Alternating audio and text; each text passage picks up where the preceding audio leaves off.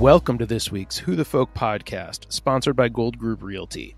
I'm Lonnie Goldsmith, the editor of TC Jewfolk.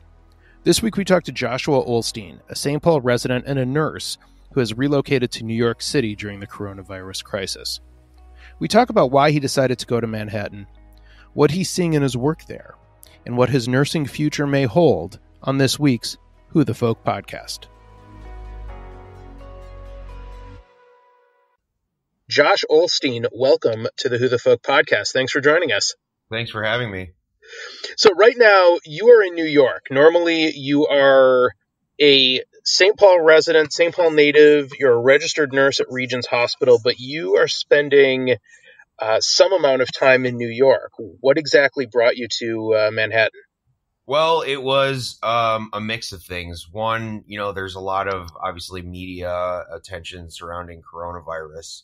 Um, and I also, as I was telling previously, my uh, brother has uh, a friend whose wife is a resident out here, and she sent an email, and the email was was pretty pretty shocking as well as uh, kind of disturbing at some of the things that were happening in the hospitals. And there were she she mentioned that there uh, there was not appropriate nursing care and when I when I read the email, and then my brother told me about how Governor Cuomo had had was requesting that healthcare professionals come to New York, um, I thought about it, and first, you know, in my mind, I was like, I don't really want to do this. There's a you know a really high risk. I mean, what we're seeing here is pretty, I mean, unprecedented, and I I, I definitely was concerned at the time about uh, about getting sick, and you know, because I'll, I'll be in a exposed to a, to a lot of COVID patients. And after after a, a couple days after thinking about it, I decided, you know what, like I think this is something I could I could help out with, and I think I should do it. There were not when I left. Regions Hospital was not seeing a lot of COVID. Pa- we didn't have a lot of COVID patients there, and I just felt like I should. I, I I'm I don't have a wife. I don't have a home. I don't have kids. Like I'm in a perfect position to get up and actually really help New York City, so I wanted to do it. And it also just so happened that there were three other nurses from my unit, which actually they they they they came out here to do the same thing. That's amazing. How many are you meeting? A lot of other nurses or healthcare professionals in general that have done the same thing that you've done and left where they're from to go to New York to help out, since that right now at least is the epicenter of COVID cases in the U.S. You know, it's pretty amazing. It's like when I go into work and I turn a corner, I mean, everyone there is a traveler. The respiratory, wow. the respiratory therapists, the other nurses. Um, there's a doctor on one of the teams that I think I, am pretty sure he's from Michigan. Um, but I mean, it's just people from all over the country just trying to step up to to help out, you know, New York City deal with this with this terrible virus. That's incredible. Did you know when? When you made the decision to go that you would be meeting all of these other people who, who sort of had the same thought process that you did? Um, I kind of had a, a, sneaking suspicion that that would be the case. That okay, I think this is just something that you know maybe people didn't see coming, and it just got so bad here. Um, I think uh, it just got so bad, and I, I think people, yeah, just wanted to get up and help um, and uh, it's it's it is it is great to see how many people from all over the country have come, have come here and are you know just trying to trying to help out New York. So, what was the discussions that you had with uh, your bosses at work here in Minnesota before you uh, you specifically? I don't want you to speak for your the other nurses that you work with that are also with you in New York, but guess what was sort of the conversation that was had in terms of you know, could you be spared uh, here to be able to go there? Well, I wish I could say I was spared, but I actually wasn't. I had to quit my job to do this. Did you really? Yeah. Wow. Um, so there's no leave of absence or anything. No, for this. No. And and to be honest with you, I'm the, the, other concern I have is that when this is when this is done, will I when I, when I go when I return to Minnesota, will will there be a job for me there, or at least at my facility. Like, will I be able to get my basically get my old job back? And that I we're not certain of. So when they told you that there was no leave of absence, that to do to do this, to go to New York, it meant resigning. did that give you pause? Did, did did that make you sort of step back and say, "Oh, may, yeah, maybe maybe well, long term for my career, this isn't the thing"? First, I you know when I, when I kind of made the decision to do this, um, at first I was you know I thought about it. I'm pretty close to my parents, so I talk I talked to them. Um, I talked to some other people that are close to me who also work in healthcare, and um, I also the, the nurses that that that came here, they actually came like a few days before me, and okay. I, knew, I knew that like there was no option for um that that I had to quit the job, like I couldn't take a, a you know a leave of absence. And so, I, you know, when I stepped into my boss's office, I already knew I had to quit. Um, okay. I mean, one of the one of the very cool things about healthcare, especially critical care, is you know once you have some experience, um, you know you can get a job just about you know anywhere in the country, which is kind of cool. I mean, the unfortunate thing in nursing is that state by state nursing pay changes. Um, but I, I am confident that like when this is all said and done, I'll I'll find a way to get another job pretty quick. Um, I mean, not that I'm trying to toot the horn, but I mean, coronavirus is going to make its way around the country. And I've spoken with some of the other travelers, and there are plenty of people I think that are literally planning on riding this wave all throughout the country. I mean, they're just going to go. So they'll, they'll just go from basically crisis hospital to crisis hospital, just you know, trying to help with these hospitals that are getting surges. Wow, that's um, it's amazing. It, it's an amazing thing that some of these other medical professionals are willing to do and that you may be willing to do also um, as this rides out. I suppose it's the benefit of, of you know being single, of not having kids, of not owning your owning a house or anything like that. That you can you can do that. That you can find a medical career anywhere doing this kind of work. Yeah, it is. It it is kind of cool, though. Um, I I do like routine, and I do like to you know I mean, I'm I'm I'm I'm living in a in a small hotel room. I don't have a kitchen. Um, I mean, I actually changed hotels to this one. I mean, they offered it for free, but I also have like a mini coffee maker, which was kind of like a. Turns out that's kind of a big selling point for me.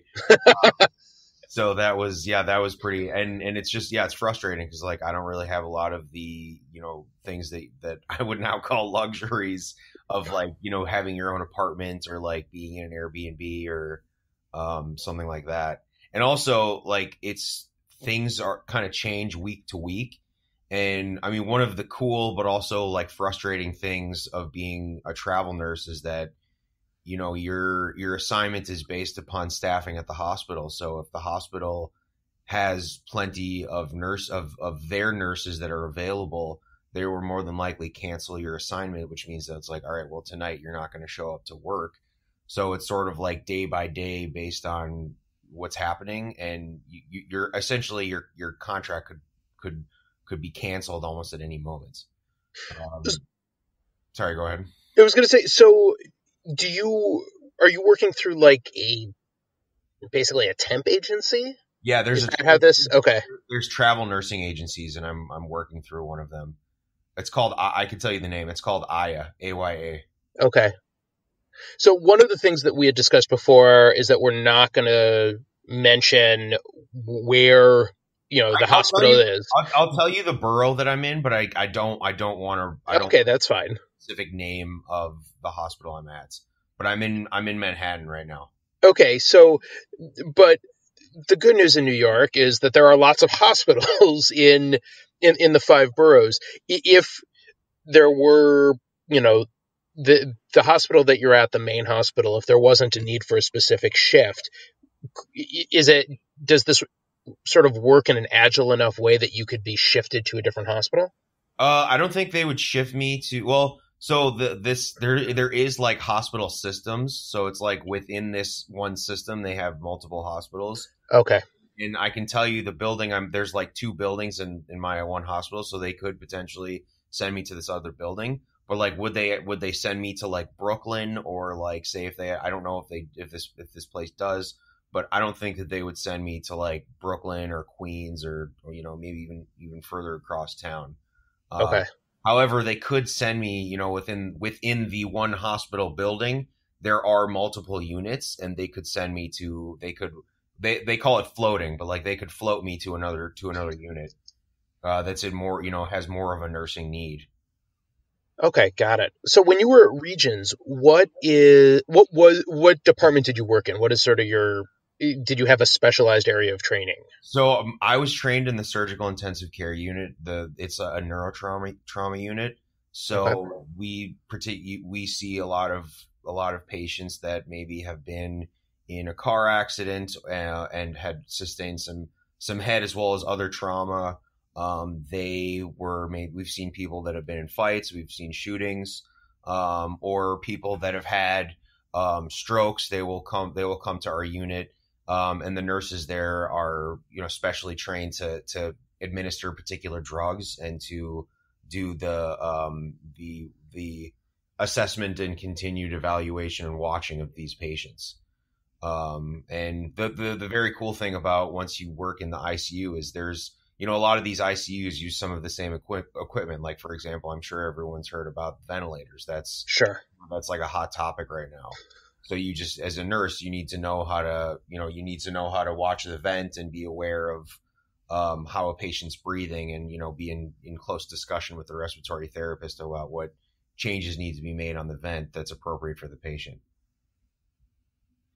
So the kind of work that you're doing at Regions is pretty uh, replicable to what you could be doing in New York. Yes, the the patients at Regions. I mean, the other thing that part that I think made me like decide to do this was that the reality is is that at Regions, you know, they're seeing COVID patients as well. And once again, I can't divulge a lot of, and I honestly don't know, but like I can't talk specifically about how many COVID patients they have, but um, they see that they see those patients as well. Mm-hmm. And yeah, I mean, it's kind of interesting because I think as this thing progresses, you know, you're going to see a lot more information coming out about the care of COVID patients. And hey, who knows? I mean, I'm hopeful that perhaps in the next month, I mean, maybe by some stroke of magic, though, you know, one facility will say, "Hey, we found this." medication and this, you know, drug will actually works to like treat coronavirus. I mean, that would be amazing, but that would be. Uh, we'll, we'll see. We'll, we'll see what happens. Um, yeah, the, I mean, it's, it's frustrating, I think, cause it's like, this is hitting us so hard and we don't know a lot about it. And it's sort of, put, you know, forcing people or forcing the medical industry to, tr- to try to come up with a, a, a cure as quickly as possible. Um, yeah, sorry, I went off a little tangent there. Interested in learning about commercial real estate or other investment properties for sale in the Twin Cities? The team at Gold Group Realty specializes in running the numbers and helping investors find great deals. Learn more at their website, www.thegold.group. No, that's okay. What you know, one thing that I think is really interesting out of this is that because we're seeing COVID patients here in Minnesota, uh, certainly not to the degree of number. I mean, it's an exponential difference between what we're seeing here and what New York is seeing and has seen already. Was there anything that could prepare you for what it was going to be like walking into a hospital in Manhattan um, to see what you were seeing there versus what you had seen here in Minnesota?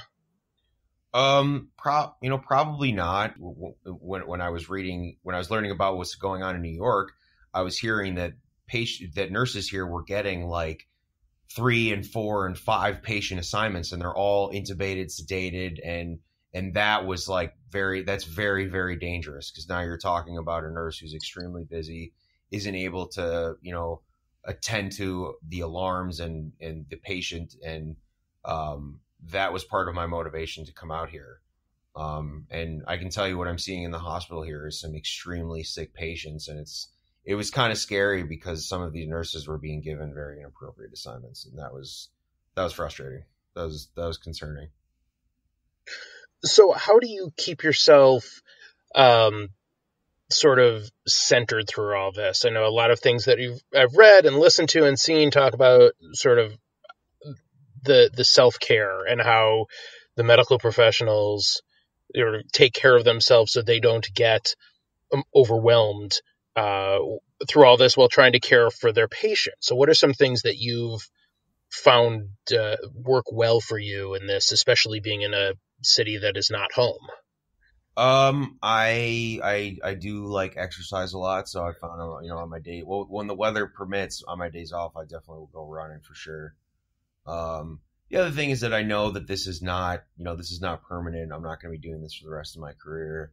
Um, and you know I've been involved in some in some some codes and some like distressing situations before, so I you know it's not my it's not this is not my like first go around with with with patients that aren't aren't doing well. Um, yeah, and and I mean, this is New York. There's even though a lot of things are closed, there's still some fantastic food out here. well, that's good. But is it just the volume of the patients people see, or, or the patients that are coming in that um, can be overwhelming, or is it not? I heard, I heard the weeks before, like the week before, I was a part of like a second wave of travel nurses that came came to New York, and I think part of the part of the big issue was the fact that these nurses were dealing with like three and four patient assignments, which is very dangerous and yeah, very distressing because you're worried if one, you know, if, if you as the nurse, you if you only have so many staff on and say, God forbid, you know, one patient codes, um, and you're in the code, you know, when when one patient codes, that sucks in a lot. I mean, other nurses, yeah. respiratory therapists, the doctors show up pharmacists show up. I mean, it's a it's a very big, you know, a very it's a fe- literally a federal project. And so, say you're in a situation where one patient codes and then another one codes. Now that's very very dangerous because you know you, you the medical professionals are you know everyone's spread even thinner. And so, just not having enough staff was really, I think, a big problem for uh, for some of these hospitals. Um, and then, yeah, then to mention that, I mean, the way this virus hits people is very interesting. Some people will show up with mild symptoms and, you know, they have to stay home and maybe they'll have, you know, some really, really, you know, I've, I, have i have met a few folks that have, that, that have gotten sick and gotten over it. And I asked them about their experiences and a lot of them will tell me like, you know, there, it wasn't that bad in the beginning. And then there was like, I don't know, two to four days where it was like really, really bad. I wasn't sure which way it was going to go and then all of a sudden, you know, I started to get better, and then I think like within roughly like another week and a half, like you know, I was I was back to normal. Where and other people, that you know, they will become deathly, deathly ill. Um, I don't know if you're familiar. There's there's a a machine called ECMO. Uh, I know in Minnesota it's getting a lot of traction. They they do it at the University of Minnesota.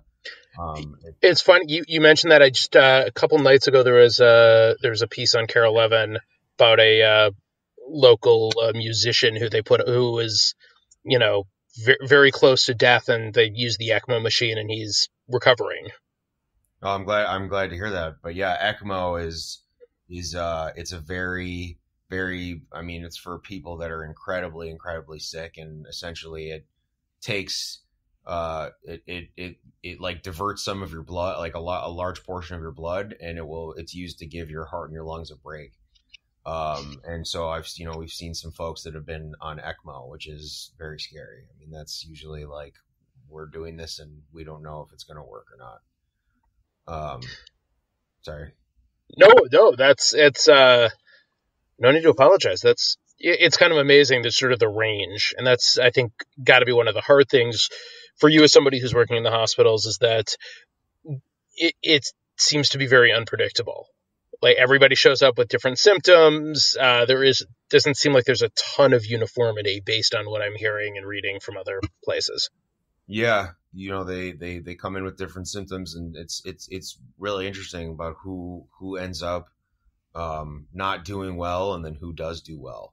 Um, and the other thing that's that really has been is sort of like very depressing and sad is that you know when these like because of COVID, um, hospitals don't want to let guests in, and so when patients are dying, they're like dying alone, um, which is very sad because you know when you, you you would hope that in your time of death you can have your loved ones nearby, but that's not always the case. Um,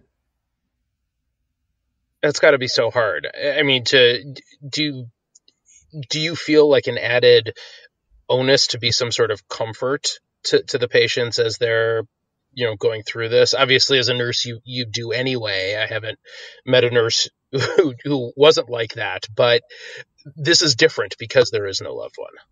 Yeah. I mean we try to we try to set up with um like i we try to help with arranging um you know FaceTimes and you know enable help help the family to communicate with the patient, but um, it's also even more difficult when uh, I mean the other day I tried to do this for a family. I like the uh, I, I, helped to set up. I, I, held the phone for the patient while the family talked to them. But then, of course, like the patient is intubated and sedated, so they're not really saying anything. But you know, the family is like trying to talk, you know, words of encouragement. But it's it's kind of difficult because you know you have all the humming of the machines, of the ventilator, the the, the room, the IV pumps, and like then you have someone on on on like FaceTime or something that's trying to talk to the patient um, but at least, you know, I, I think that's even that's helpful. Um, so I do try to do that for people when, when I'm here. Well, that's quite quite a job that you've uh, you've jumped into there, and I'm you know curious to see where where the wave takes you next. If it brings you home, or if you and your uh, fellow travelers uh, will he- head off to some other hotspot. It'll be uh, interesting to to see what you decide is next for you. Yeah, I mean, I would. That is, I don't know. I don't know what's gonna what what, what the next what what the next like what the rest of 2020 holds for me. Yeah, uh, yeah. I don't know if I'm gonna return to my facility back at home, um, or if I will, yeah, go maybe go to another another state. Um, I don't know. I don't know. I'm trying not to be honest. I try not to think about that too much because that is a little that that is also kind of distressing.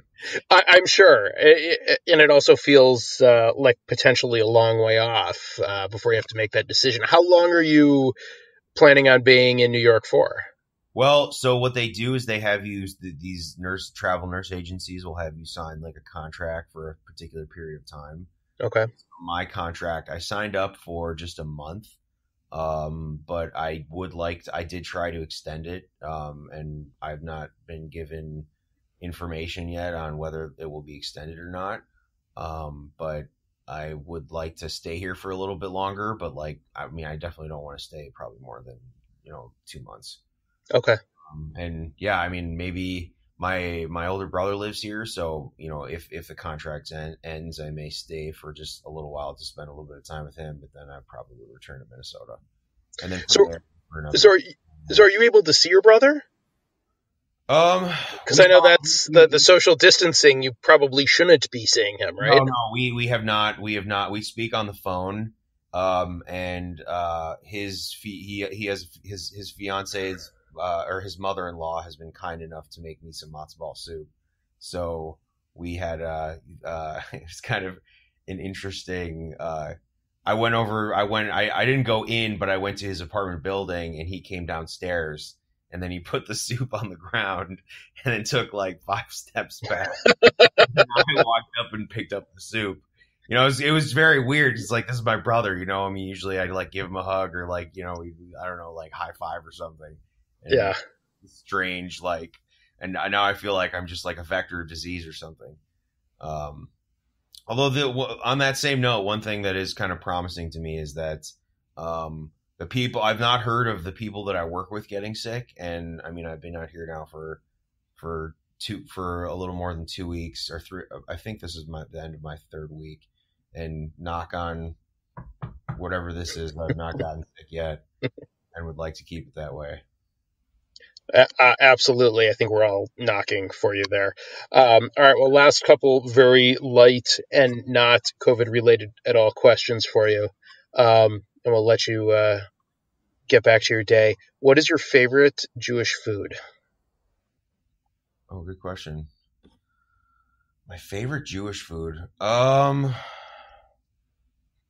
let me think about that one for a second. Um, I've always enjoyed charoset on Passover.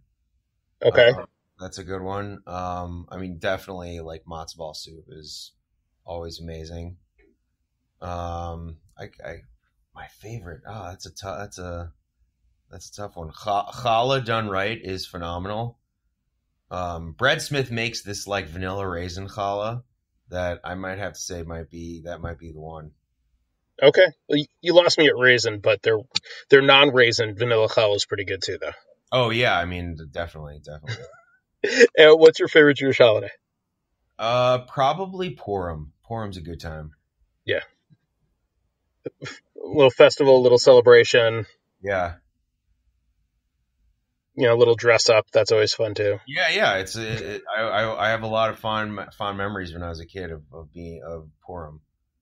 Um, Hanukkah is not is not bad too, but it's kind of it's kind of strange at my at my facility at home. I'm like the only I'm sort of like the go to Jewish guy. like there's no other there's really no other Jews that work there, or at least not on my floor. So everybody everybody um, everybody always asks me about Hanukkah, you know, and it's it, it's funny because I don't think Hanukkah has the same significance that say Christmas does, you know, and for for for Christianity, right? Like the biggest, you know, that's like the biggest deal, and so like I think everyone thinks that Hanukkah is on the same level, and it's like ah, I don't think that's the case. I don't think that's the case either. Well, Josh Olstein, thank you so much for joining us. Uh, stay safe, stay healthy. Uh, Godspeed to you and the work you're doing, and uh, let us know where you end up. Uh, where you end up next. Uh, love to uh, keep up with your travels, whether it's somewhere else around the country or just back home. All right. Well, thank you very much, Lonnie. Great talking to you. You too. You stay safe in Minnesota, okay? Will do. Thanks. Yep. Thanks so much for listening, and thanks to Gold Group Realty for sponsoring this week. If you haven't yet, please subscribe, rate, and review the show. If you have someone who you think should be on the podcast, please email me at editor at tcjewfolk.com. The Who the Folk podcast is a product of Jewfolk Inc. and part of the Jewfolk Podcast Network. For more shows, check out tcjewfolk.com slash podcast.